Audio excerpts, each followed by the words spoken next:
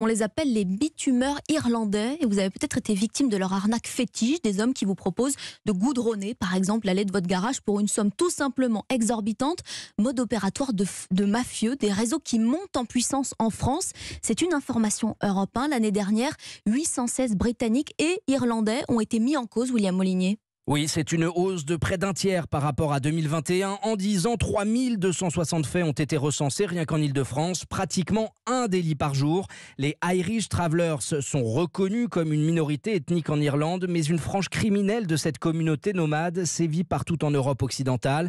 Les policiers les surnomment les bitumeurs irlandais en raison de leur escroquerie phare. Ces arnaqueurs au fort accent anglais se présentent chez leurs victimes et leur proposent de goudronner à bon prix l'allée de leur propriété. La prestation est de bien piètre qualité, mais la facture très salée.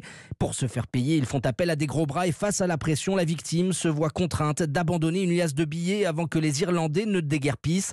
Ces voyous celtes au bas goût trompeurs se sont aussi spécialisés dans les vols de pots catalytiques à même le trottoir pour en extraire les métaux rares. Dernier fait d'armes, le trafic d'ivoire, de cornes de rhinocéros ou encore la contrebande de cigarettes. Information Europe 1 de William Molinier.